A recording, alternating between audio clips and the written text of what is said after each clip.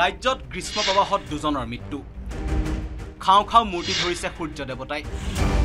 প্ৰচণ্ড গ্ৰীষ্ম প্ৰবাহে ধৰিছে ৰাজ্যবাসীক প্ৰায় জনশূন্য হৈ পৰিছে ৰাজপথ।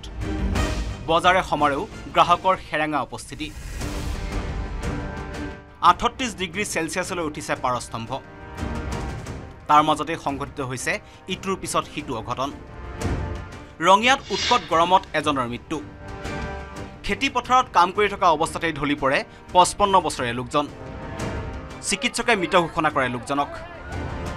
মৃত লোকজন বিশ্বনালা নিবাসী যোগেন কলিতা।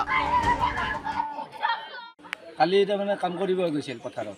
কাম কৰিব যাওঁতে কাম কৰি ঠিক পথাৰৰ পৰা ওলছি আৰু উঠছি উঠাৰ পিছতে তাৰমানে মাথা ঘূৰাই তেওঁ পৰি অকল মৃত্যুত তাৰমানে সাৱতি ল'লে ঘৰখন চলাই টান তেওঁ হাজিৰা দিন হাজিৰা কৰি চলি আছিল। চলি থাকিলে অকল মৃত্যু তাৰ সাৱতি ল'লে।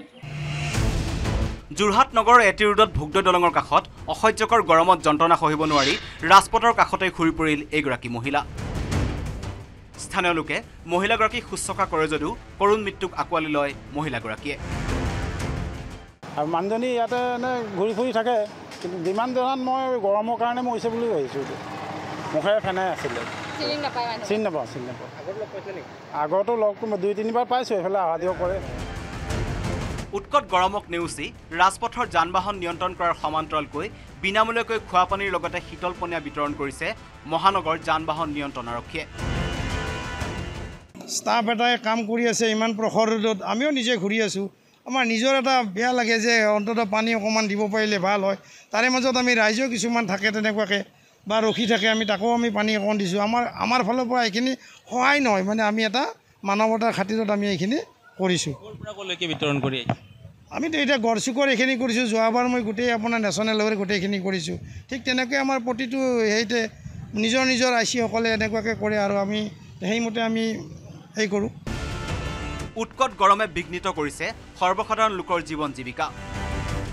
মূল্যবৃদ্ধিয়ে কোঙা কৰাৰ সময়তে সূৰ্য দেৱতাৰ ৰুদ্ৰমূৰ্তিক লৈ অসহায় বৰপেটাৰ ঠেলা আৰু ৰিক্সা চালকসকল।